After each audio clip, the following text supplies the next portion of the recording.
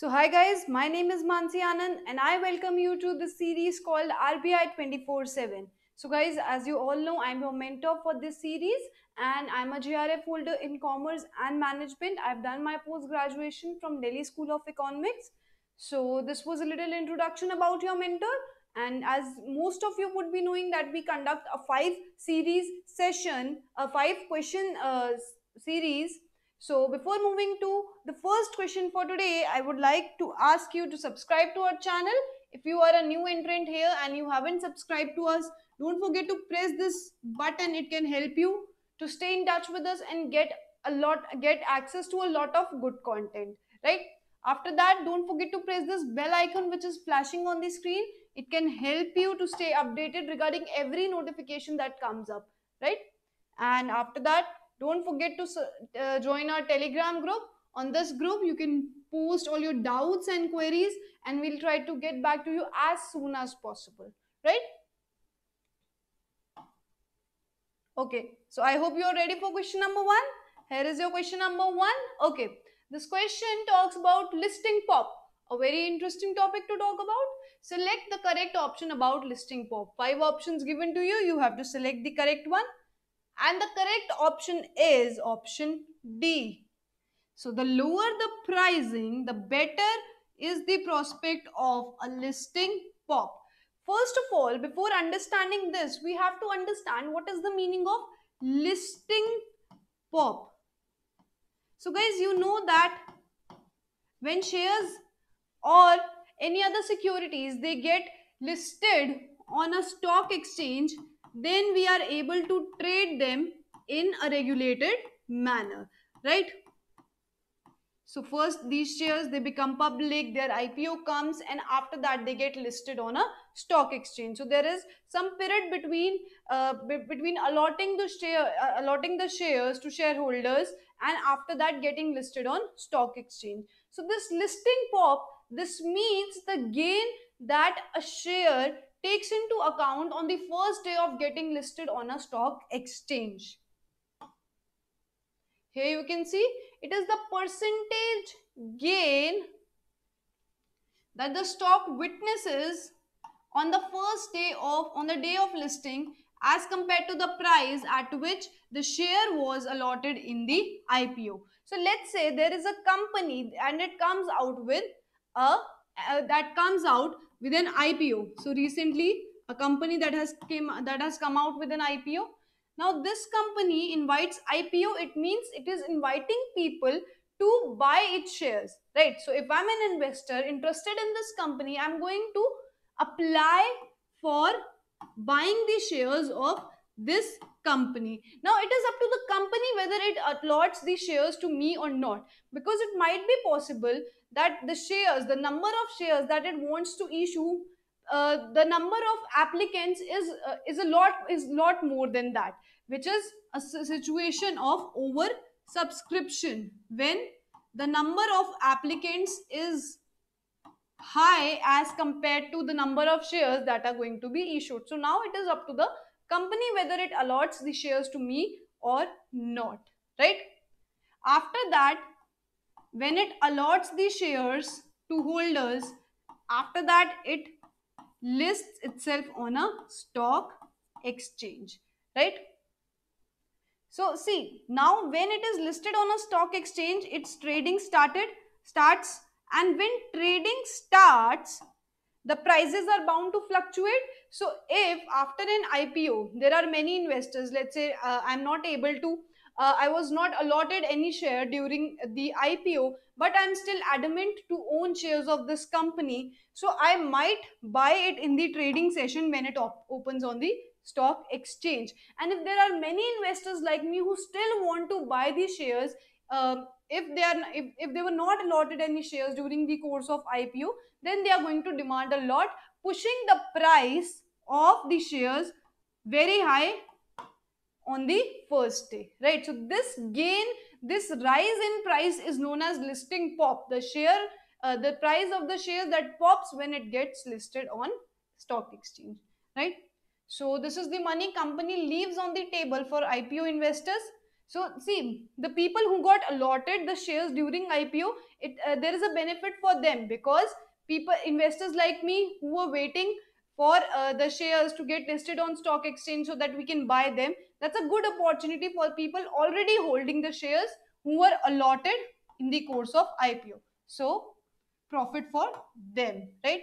Most of them who tend to encash their investment on the listing day itself.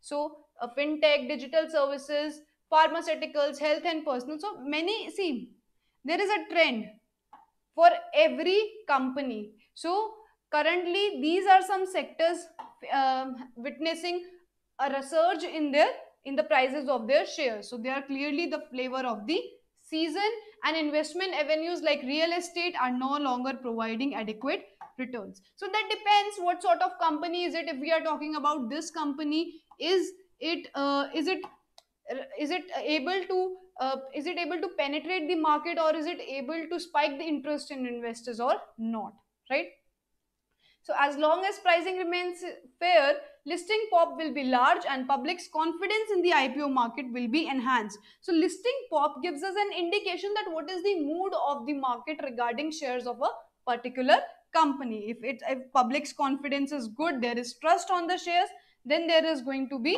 a large listing pop. Will increase the prospects of upcoming ipos and if there are a lot of pops on the listing day that is going to encourage other companies to come up with their ipos guys uh, we have discussed about this but there is one point that i would like to ask you. See listing pop it might be good for investors but what do you think uh, what what do you think it is for the companies right? How, what does it indicate for the company? See for companies it tells them that if they might have brought the ipo at a higher price uh, people might have bought it. So it shows that the price the price at which ipo came that was underpriced. People are having more preference for their share for the particular company shares. That is why we said here the lower the pricing of ipo the better the prospect prospect of a huge listing pop right? So i hope now you are clear with it. So it shows that companies could have brought the ipo at a larger uh, at, a, at a higher price and raised a lot more money than they have already done right? So moving to question number 2 for today here is your question number 2 and this question says where can an investor buy or sell ipo shares or applications before they are officially launched for trading on the stock exchange right? Let us move to the solution for this question. And the solution is option b which tells us that the correct answer is gray market. So we all have heard about white markets and black markets. So you know white market is something where the dealing happens in a legal and regulated manner.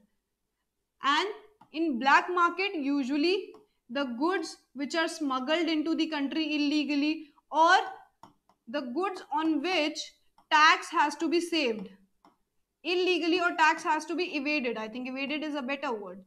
Tax has to be evaded. Those goods when they uh, get in the market for dealings they enter into black market. Now if we are talking about ipos there comes a market called gray market. Okay here you can see. It is the over the counter market. That means it is not regulated by stock exchange. If it is otc where deals are done in person only among the trusted group of investors and the deals are done in cash. So basically it's an uh, it's, it's a market for those people who still want to buy the shares of a company and they do not even want to wait for the listing of the ipo on the stock exchange right?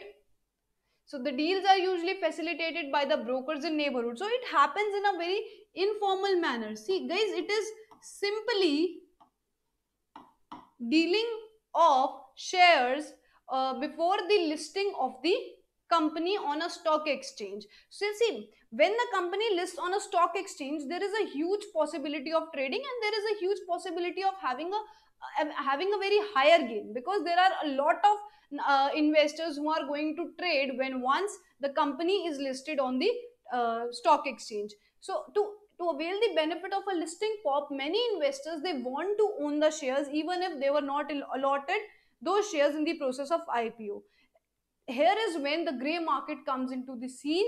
People who have been allotted the IPOs, uh, the shares during the IPOs, they sell the, uh, they sell their shares or securities at a premium in this gray market to people who want to avail the benefit of listing pop and want to own the shares before listing right so usually facilitated by broker in neighborhood as i just told you happens in a very informal manner nothing legal nothing according to the uh, laws nothing regulated in this market investor could sell the ipo or ipo application we are going to discuss about it before the company gets listed on the stock exchange. IPO gray market premium. So guys, this is the word you guys have been asking in the comments. The gray market premium. See, gray market premium is what an investor has to pay in gray market for acquiring the share. So let's say a company comes up with an IPO and the price of the security during IPO is rupees 200.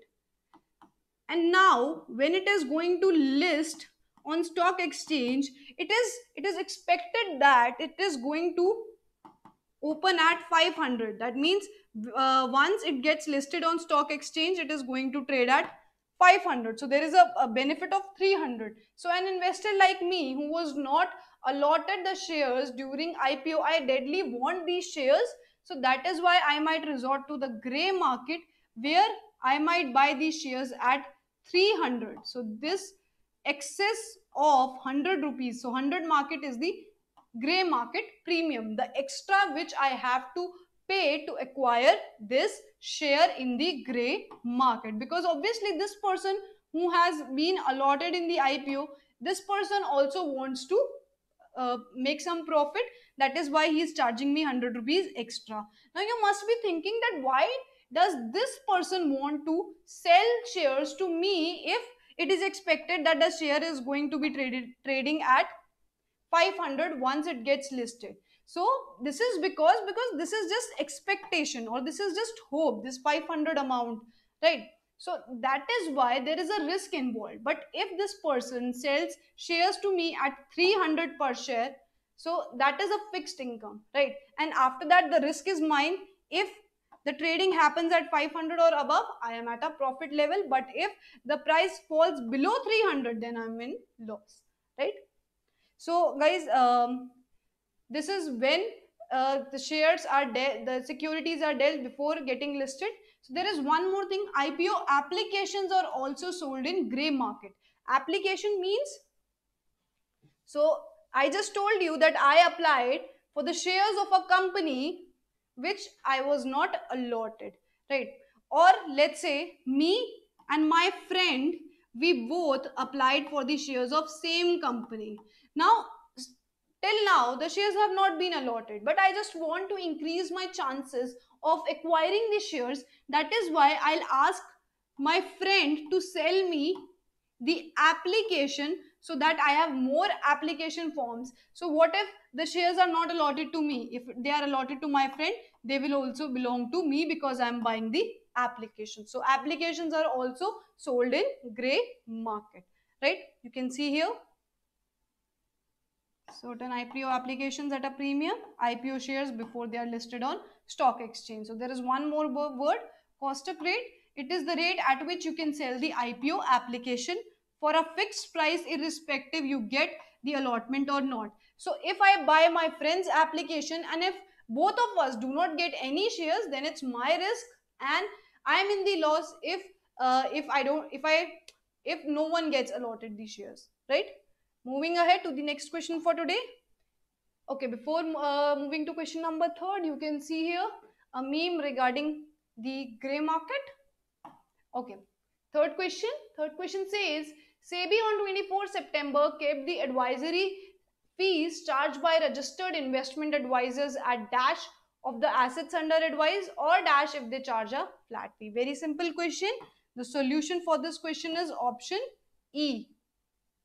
That means 2.5% of assets under advice or 1 lakh 25,000 if they are charging a flat fee right?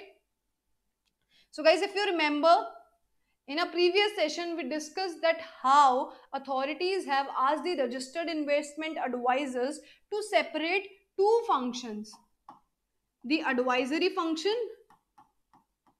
and the distribution function. So basically they are saying that if a person is providing an investor or a client with advice that okay you put your money into this investment or don't put into this investment then you're not going to sell that client the, the your own products. Either you can be an advisor or you can be a distributor. You can sell the products for a commission to the client. But one person cannot provoke cannot provide both of these uh, services unless and until in some exceptional circumstances right? So this is to prevent conflict of interest interest. We have already discussed it in one of our previous sessions. Now uh, sebi has put a limit to the to the amount that they can charge as their fees the registered investment advisors. So if there are they, they are advisors they are not allowed to distribute the services right? Okay as you can see here, investment advisory agreements incorporating the terms laid down by SEBI, existing clients can opt for either advisory or distribution services at a group or family level. Now, SEBI has allowed grandfathering of existing assets. So, they are saying all those people who have already invested in these schemes, they might not, uh, they uh, need not make any changes and they are exempted from the new rules, but the new uh, deals or the new agreements that have that take place they have to be they have to be according the new laws right so advisors with over 150 clients must corporatize their practices or stop signing the new clients or RIAs also comply with the qualification threshold that has been proposed by SEBI. So basically SEBI proposed that uh, uh, these investment advisors, they should be this much qualified. So they provided guidelines, right? I think we have discussed it already. Okay, here is the fourth question for today.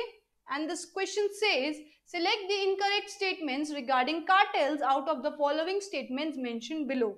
Five statements given to you regarding a topic called cartels. Let's see who, uh, uh, who gives the correct answer. But guys, do take care. Here you have to select the incorrect statements, not the correct statements. Right? So the answer to this question is option A. Option A means our incorrect statements are 1, option 1, statement 1, 3 and 5. So 1 is incorrect, 3 is incorrect and 5 is incorrect. So now let us learn something about cartels. See, cartel is a collection of independent businesses and organizations that collude in order to manipulate the price of a product or services. So basically they are a group, a number of businesses and these businesses, they come together or they collude together and they decide, okay, we are going to provide our services at this much of rate and no one is going to provide service or product below this rate. So they, in a, in a simple sense, they, uh, they make a team among themselves and they try to, uh, and they try to have advantage over this, right? That is why statement 1 is incorrect because cartels, the participants in cartels, they are rivals in the same industry. So let us take an example for that. Let's say there are a few cafes near your house. Now these cafes, one provides coffee at rupee 100, one provides at 110, one provides at 120, one provides at 80, right? Now these cafes they see that customers they fluctuate among them right? So what they do is they uh, they hold a meeting together the owners of these cafes and they say that okay we are going to fix a price. We all are going to provide coffee at rupees 125 no one is going to provide lesser than that right? Now customers are bound to pay this price because no one is providing lower than that price. So this is, you can say, is an example of cartel because they have colluded among themselves. Earlier, they were rivals, right? So if uh, if you don't like the cafe where the coffee is being provided at 120 you can go to this one or you can go you could have gone to this one or you could have gone to this one right so you had options but now since all of them provide at same price you have no options but to pay rupee 125 as the coffee amount right? So they are rivals in the same industry. When rivals collude with each other it is called a cartel. And that is why statement 1 is wrong statement 2 is correct. Now statement 3 and statement 4 after that statement 5 so see i just told you that now they are charging a higher price and you are bound to pay it that is why you can infer from this example that cartels have a negative impact on consumers because now they have the power. Since all of them have become a team, they have the power to exploit the uh, buyer, right? That is why it is not good for consumers to for uh, to uh, when major producers form cartels among themselves. Not good for consumers. So statement uh, uh, third is incorrect and fourth is correct. After that statement five Cartels are considered a major development in the establishment of free trade? No. It discourages competition because earlier there was competition, consumer had choice, but now when the cartel is formed, no choice to consumer, no competition. So no free trade, right? So I hope you get all these statements here. Okay, I think we have discussed most of it. So cartels are competitors in the same industry, reduce the competition by controlling the price, some tactics that the cartels use they are reduction of supply price fixing price fixing collusive bidding and market carving. These are some techniques they are used that are used by it. As i just gave you an example of price fixing. So they can also reduce the supply to boost the prices up. In the majority of regions cartels are considered illegal and promoters of anti-competitive practices. That is why regulators are always trying to uh, trying to prevent the formation of cartels among the big among the corporate giants. So competition commission of india you must have heard about it. It has one job to prevent cartels. Actions of cartels can hurt consumers through increased prices and lack of transparency. Opec is one example. Organization of petrol exporting countries the world's largest cartel right? So guys there is one question that I would leave to you. I would like to ask you, what do you think? See, these cartels, they have power over the consumer. A firm which is practicing monopoly, it also has power over consumer. So what do you think the degree of dominance or the degree of offer, sorry, the degree of power that a cartel has, whether it is higher than that of a monopoly or lesser than that of a monopoly. So basically you have to tell which one has the higher power or a, higher degree of power on the buyer's monopoly or a cartel. Let's see who answers this question correctly. So I'm hoping to see your answers in the comment box below. So earlier also many students have given us very nice answers and I expect the same. So this is the last question for today. Dash is a type of under dash is a type under sectoral rotation strategy of investing that takes advantage of those sectors that tend to do well during specific times during the year. So here the key terms during the specific times of the year. Moving ahead to the solution and the solution says the correct option is A. That means calendar strategy. First of all, we would talk about sectoral rotation strategy.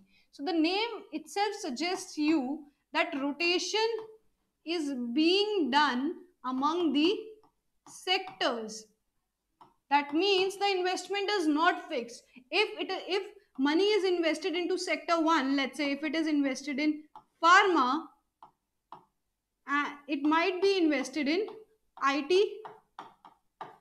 in the coming times. So basically moving money into profitable sectors, not fixing them into one sector is known as sectoral rotation strategy, right? Under this sectoral rotation strategy, there are some types. As you can see here, the economic cycle strategy. It is a strategy where investments are changed according to the economic cycle. So sometimes some companies are having a good, see, if we talk about current times, automobiles are having are witnessing a very bad phase right so mutual funds and such etfs they might not want to invest in automobiles whereas pharma pharma is experiencing a good time at least relatively better to automobiles. So they might be having a good time. So basically monitoring that which product is going to be profitable and putting money into that product. So this theory asserts that different industry sectors perform better at various stages of the economic cycle. So some might do good at uh, the boost period. So let's say if uh, if, if if if bust cycle if boom cycle is going to come or if the economists are expecting growth then it is good to put money into construction companies because they are going to witness huge revenues right? So monet, uh, fluctuating or altering the investments according to economic cycle investors should buy into the next sector that is about to experience a move up and sector reaches the peak as defined by economic cycle investors should sell that etf ETF, we have already discussed the meaning. I hope all of you know it. And if not, you can ask for its link in the comments. After that, under geographical strategy, investors can employ selected ETFs that take advantage of potential gains eh, by putting money into various economies of the world. So, you can change that, okay, if a certain country is experiencing a good time, you can put your money into that if you hope to uh, get a reward from it right? So this is economic cycle strategies geographical geographic strategy.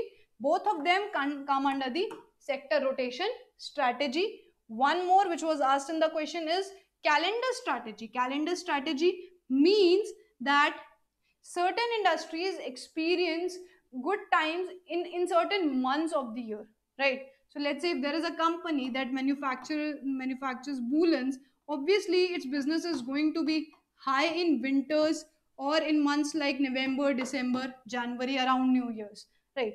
Whereas uh, companies manufacturing fans and ACs. So if you remember when there was COVID and um, the, uh, the unlocking started due to after uh, the outbreak of COVID, it was being expected that these electrical appliances like the like ACs, these companies are going to witness demand because it's very hot and people need some electrical appliances to beat that heat right? So they also there is a cycle to them that uh, in summer months they are profitable in winter months not that profitable right? So that is a calendar strategy. So guys i hope you learned something new from these five questions. And if you did then don't forget to hit that like button we'll be back to we'll be back in the next session with some new information that might be helpful for you and i hope to see your answers in the comments that I just asked you uh, to the question that I just asked. Until then, take care of your health and keep your studies going on. Thank you for being here. I'll see you in the next session.